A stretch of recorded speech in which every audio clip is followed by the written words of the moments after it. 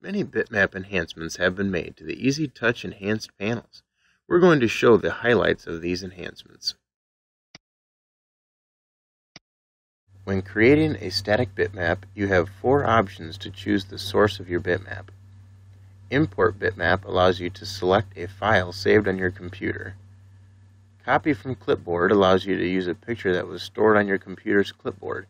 For example, if you need to use your company's logo, you can simply go to your website, right-click on the logo, and select Copy Image. This places the file on your clipboard for you to use. The Symbol Factory is a large group of about 4,000 images to help in creating your project and the Edit Image option allows you to either create images from scratch or edit an existing image you have already selected. When importing bitmaps, we have added more support for standard file formats. This now includes bitmaps, Windows Metafiles or WMFs, Enhanced Metafiles or EMFs, GIFs and JPEGs which are standard formats for the web, and ICOs or icons. For demonstration purposes, we will use a bitmap from our symbol factory. When using the symbol factory, first browse through the categories to select the type of pictures you are searching for. We'll select a flow transmitter and click copy to copy to the clipboard. Then we'll close the symbol factory. Now we'll copy the bitmap from the clipboard into the static bitmap dialog box so it is ready to use.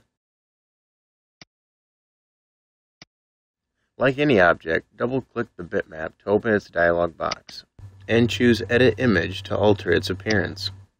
The Edit Image dialog box acts much like Microsoft's Paint program, where we have options to fill in shapes, draw with pencils or spray cans, and more.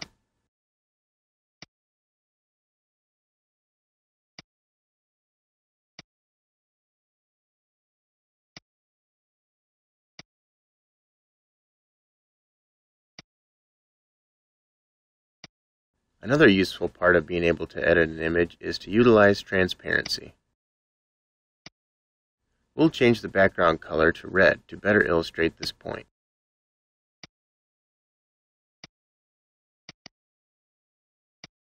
The transparent color selected will be used to make all areas of that color invisible or transparent. Since we have no green in our picture, I will select green as my fill color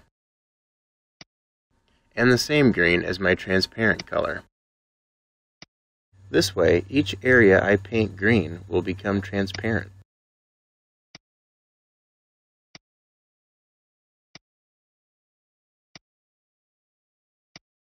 Another great feature within the Edit Image dialog box is the Zoom tool. Making edits in tight spots is no longer a problem.